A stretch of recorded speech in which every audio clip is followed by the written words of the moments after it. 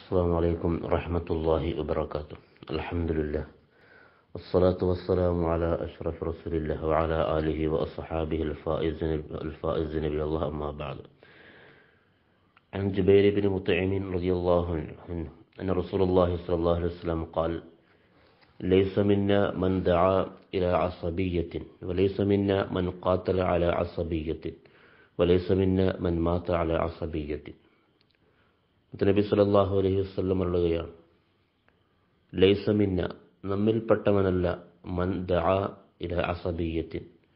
വർഗീയതയിലേക്ക് ക്ഷണിക്കുന്നവൻ നമ്മിൽപ്പെട്ടവനല്ല. വലൈസമിന്ന അല വലൈസമിന്ന മൻ ഖാത്തല അല അസബീയത്തിൻ. വർഗീയതയ്ക്ക് വേണ്ടി യുദ്ധം ചെയ്യുന്നവനും നമ്മിൽപ്പെട്ടവനല്ല. വലൈസമിന്ന മന്മാത്ത അല അസബീയത്തിൻ. വർഗീയതയുടെ മേൽ മരിച്ചവനും നമ്മിൽപ്പെട്ടവനല്ല. സ്വജനപക്ഷപാതിത്വം തന്റെ വർഗത്തിന് വേണ്ടി വാദിക്കൽ.